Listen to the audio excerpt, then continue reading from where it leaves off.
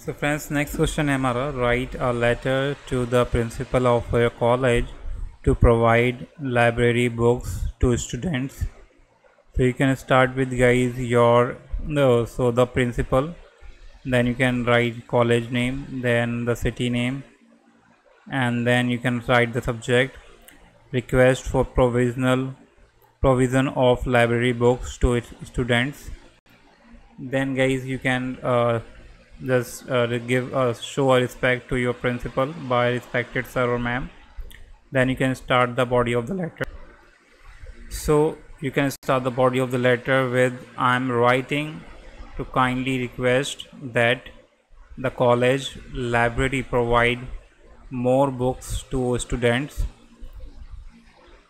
Many student many of us rely on the library for study materials and references books but the current availability availability of uh, is limited.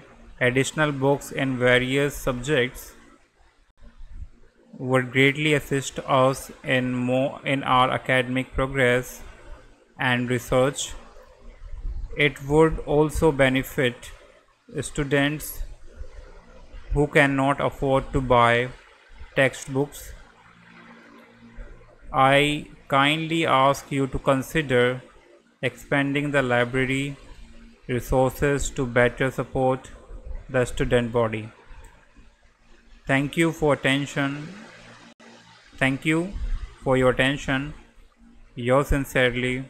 Then you can write your name, your roll number, and then you can write about your class or stream because you are in college you can uh, write your course name.